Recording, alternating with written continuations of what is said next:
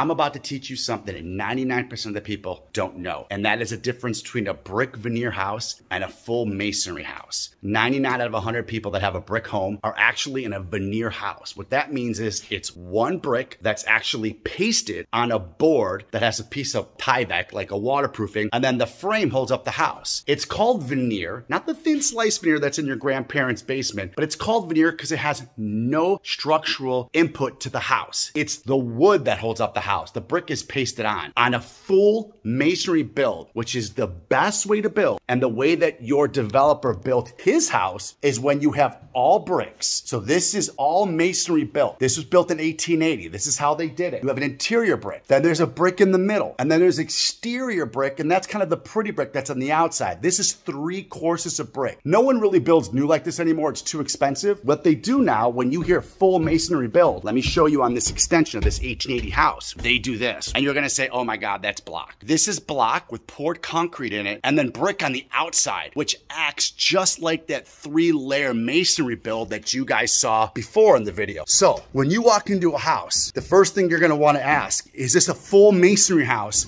or is this brick veneer on Tyvek board? That is my tip for the day and a ton of definitions in there for you too. Take care.